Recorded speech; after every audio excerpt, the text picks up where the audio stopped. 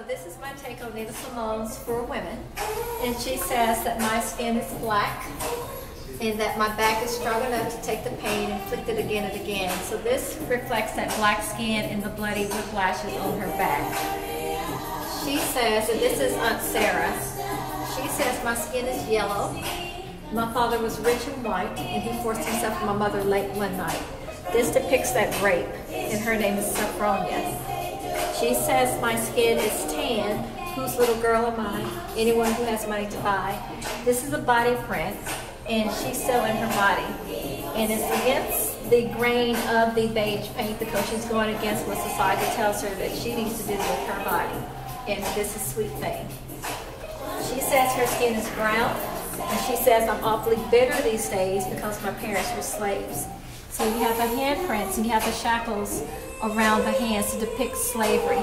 Now she's already told you that she's bitter, and she's bucking the system and this is written upside down because she's telling you loud and proud that my name is Peaches. That's the reason her name is represented here because she's already told you that she is done.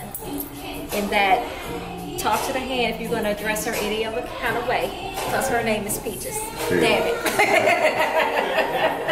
so her name is depicted here and if you notice her name is the only one that's depicted in color on this one because if you listen to the song um, the narrative starts to change, the tone of the song starts to change, and when it comes to Peaches, she's speaking and singing more bolder than the other ladies. And that's not to diminish their strength or their power, because there's some very powerful women, but the tone of the song just changes and the attitude changes where she's telling you, I'm pissed off, right. you know? So she's coming at it from a bolder standpoint. It Makes perfect sense. Yes. It Makes perfect sense. So what's your name? My name is Jennifer. Jennifer?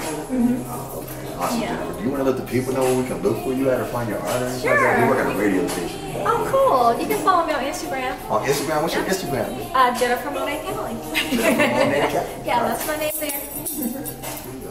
And then I have another piece down here on the end. Hi, how are you? Come on, guys, so we can get the scene real quick.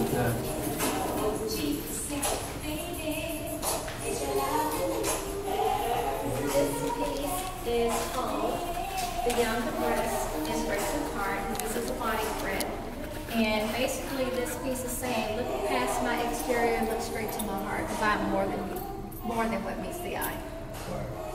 And on this side of the gallery, these several pieces here has to do with body image of women and how women tend to be seen because uh, sometimes we are over sexualized. Yeah. So that's what these pieces are about. That's what this piece is about, and that's what these pieces are about right here. It's kind of deep. And these two pieces are by Classy Nance, and she comes from a family of artists. Her mother is an actor, actress. Her and her father's a photographer. Her brother's a, yes, they're like free thinking artists. brothers, one of brothers a filmmaker, two of them are singers, so just come from a family full of artists. This is the old to the nasty girl, the little Kims, the Foxy Browns, it's the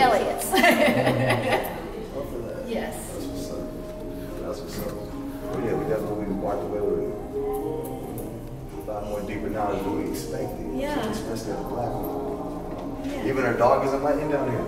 Yeah. yeah. Exactly. Let me tell you something about this piece that's in the center of the floor. This piece was created by an artist by the name of Denise Smith, and she's out of Houston, Texas. Her father is the sculptor who created the sculpture in front of the museum. His name is George Smith. Kaneem created this piece and the installation that is on the wall. This piece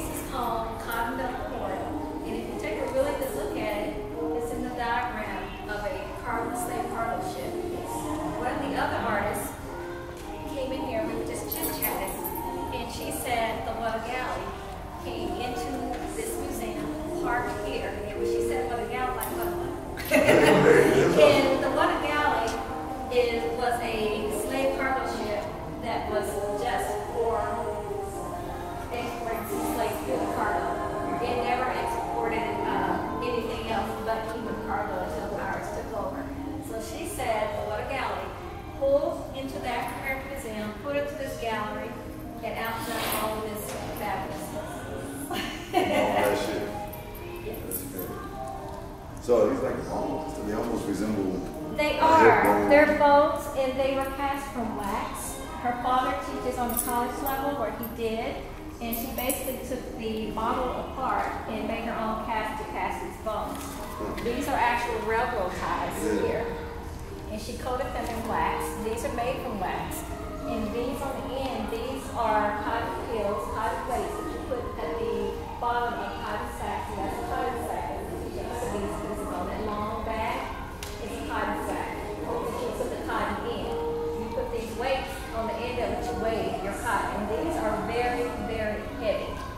They're solid, so they're not hollow. They're very solid. And you should put them all, place them on these uh, coffee bags from Africa.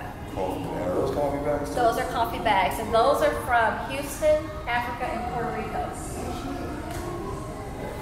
These pieces, um, we had a little issue with uh, people not knowing their boundaries. Right. So, um, a friend of mine, her name is Tammy Gamble, she's a girly shop teacher